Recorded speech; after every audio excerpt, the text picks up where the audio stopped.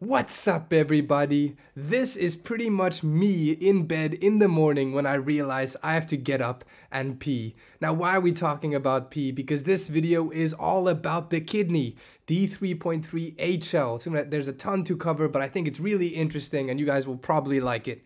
Now of course, as always, I need to advertise tchme.org so let me show you what I got here.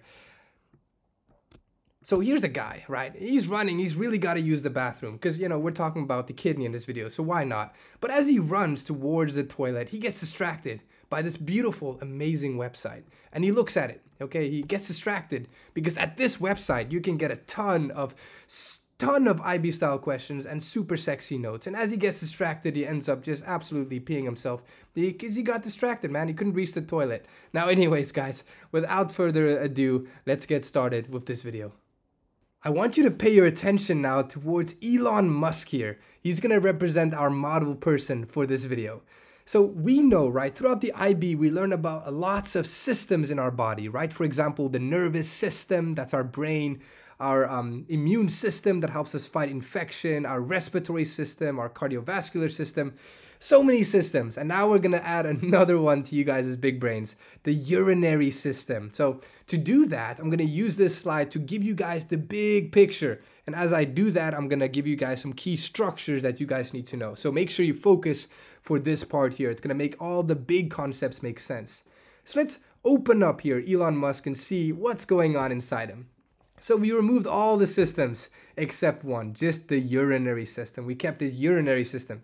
So it's teeny tiny right now. So let's zoom in and see the big thing here so we can see everything nice and clear. So I want you to notice, right, the first thing about the urinary system is it's not just the kidney. There are many other structures that comprise the urinary system.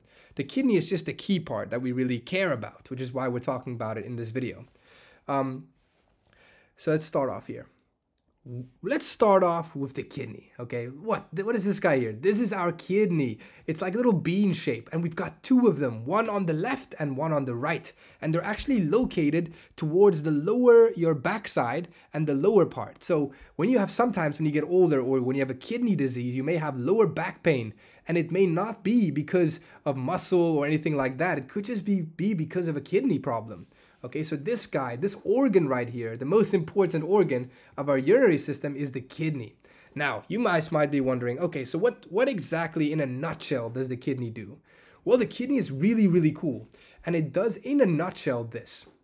In a nutshell, it's like a very fancy filter. You know, a normal filter in our house that helps separate big things from small things, right? A kidney is basically a filter that separates uh, things that our body doesn't need from the things that our body does need. Let me show you what I mean.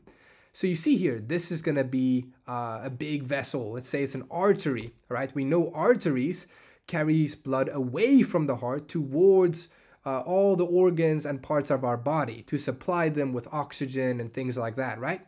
So that's our artery. So you can imagine here, the artery contains a lot of stuff. So let's take a look at what's really going on inside the artery here. So here we have the artery. Take a look. Okay, we're zooming in now, seeing what's exactly inside our blood. So inside our blood, we've got a lot of things. Remember, guys, we got red blood cells, right? Of course, that's what makes our blood look red. The red blood cells, um, they carry oxygen to our cells, right? We've got uh, glucose, right? Uh, certain nutrients like glucose. We've got lots of water. Water is what makes our blood so fluidy. We've got lots of ions. Look at these guys. Ions is any kind of molecule that is positively or negatively charged like this. You see? So chloride ion, sodium ion, these two are the really important ones we'll talk about in this video. But you also got other ones like mag magnesium ions, protons, We've got calcium, potassium, many ones, right? And we also have proteins, right? Proteins serve so many functions depending on what protein we're talking about. So they are very important. They can be enzymes and many other things.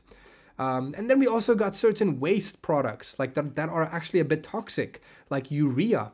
Urea is a waste product. It's something that our body doesn't want to keep because it's a bit toxic. And we'll see later in this video where this comes from and what urea actually is. So you can see that's in a nutshell what's in our blood. Okay, obviously there are more things, but for the IB, this is what I want you to know. Okay, so here we got it. Now remember, uh, our artery, right? It's carrying blood towards our uh, the cells of our body, right? Because the cells of our body uh, depend on the nutrients that is inside our blood, like the glucose, right? Like the glucose, like the oxygen that the red blood cells carrying.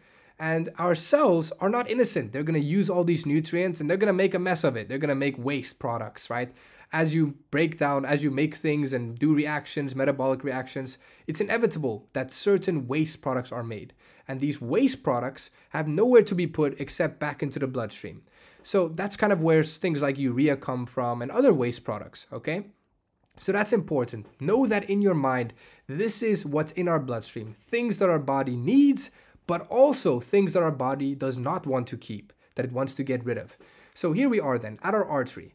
Now the artery comes comes down and it's got many branches. Some will go to your lower body, for example, and say one branch here is going to go to the kidney.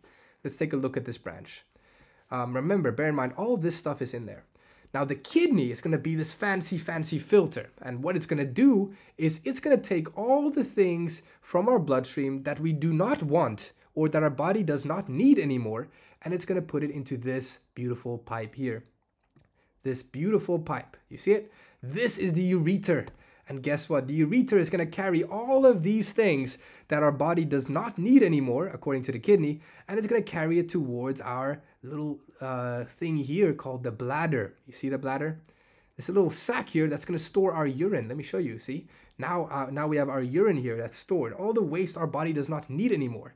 And this waste when we when it when this bladder gets very full and distended it's going to trigger um, a reflex sort of like you really have to go pee. And then you'll voluntarily decide oh i gotta pee. Unless of course uh, you wait too long and you just pee yourself. Or of course when you see teach me and you just can't uh, you just can't control yourself and you pee right?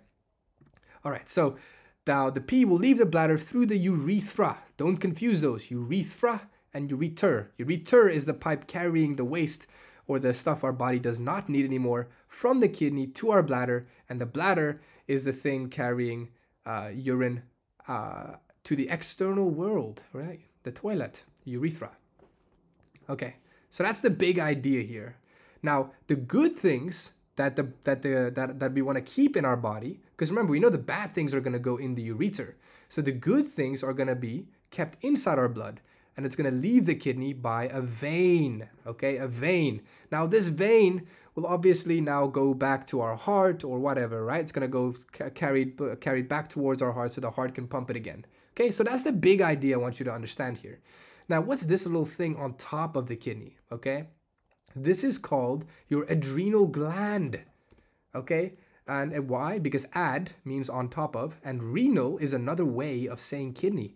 So it's the gland on top of the kidney, the adrenal gland. And what it does is it makes a certain very famous little thing called adrenaline. Okay, this is where we make that hormone that makes you all hype, the fight or flight hormone. Okay, not too important though for this video. So that is it. That's very important. That's all the structures here that's key to know about. Of course, we're going to talk uh, very soon on the next slide. We're going to slice open this guy, the kidney, and we're going to take about the nasty we're going to take a look at the nasty details of the inside. But trust me, it's not so bad. For now, understand this big picture. Okay, cool. So let's summarize here. So the kidney is the organ that regulates the contents of the blood, okay? What do I mean by regulates? Two things. One is excretion. We know the kidney is going to make sure we excrete or get rid of the things that our body does not need anymore. It's going to take all those things out of the blood and make sure that we can get rid of them. Okay, and it's going to make sure to keep the good things inside our blood, okay, which will leave the kidney as a vein. Now, what else can it do? I thought that's all it does. No, there's one more thing. It's very important, and we're going to talk about it later in this video in detail. It's called osmoregulation. Basically, what this means is the regulation of water levels in our body, because osmo um, refers to water levels. So it's gonna the kidney can also regulate the water levels in our body. Don't worry, we're to talk about the details later, but for now, what I can say is we know our bodies, right, are like 70% water. We have water in our blood vessels, a lot of them. Um, we've got uh, water inside our cells, like the cytoplasm. We've got water in between our cells. We got water in a lot of places. And um, the kidney and, and we want to make sure that those water levels are maintained at a relatively healthy level. We don't want too much water in our body because it can be very bad, as we'll see later. And we don't want too little water in our body because that can also be very bad. So the kidney is very cool because it can kind of control the water level and make sure that our water balance in our body is uh, to the level that we want it to be. So, for example, you can imagine the artery, a lot, um, the inside the blood vessel. There's a lot of water.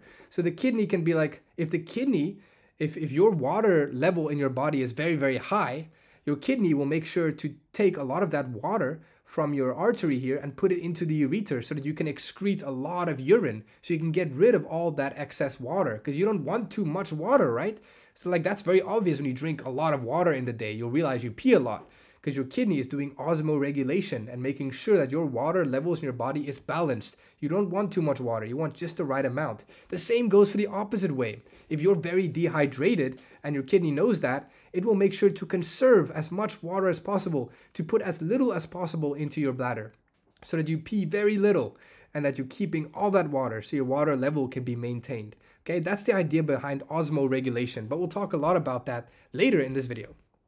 So here we come to this last part, the composition, before we go into the nitty grittiness. So remember, this is more of a summary. Blood content is different in the renal artery uh, compared to the renal vein, which is also different to that of the ureter as a result of the blood filtering action of the kidney. Okay, here. So this is real quick what I want to say. So you can think of the renal of the artery here, the renal one, the renal artery going into the kidney. You can think of it like unfiltered blood, like dirty blood. And you can think of the renal vein as filtered blood. This blood has been filtered, it's clean, all that sort of stuff. It's got all the stuff our body needs. It's been filtered. Um, but remember, a big other difference between an artery and a vein, you guys learn all about this in the respiratory system, so I don't want to linger on here.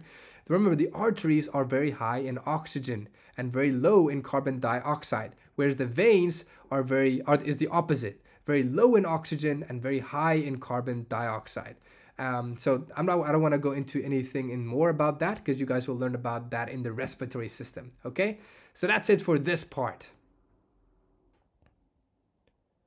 Now we will move on to talking about all the structures, the detailed structure of the kidney and the nephron, because we have now the uh, the big picture out of the way of the, the function of our urinary system. So let's zoom in. We're going to zoom into the little kidney here and look at all the details you need to know. Let's slice it open and check the inside.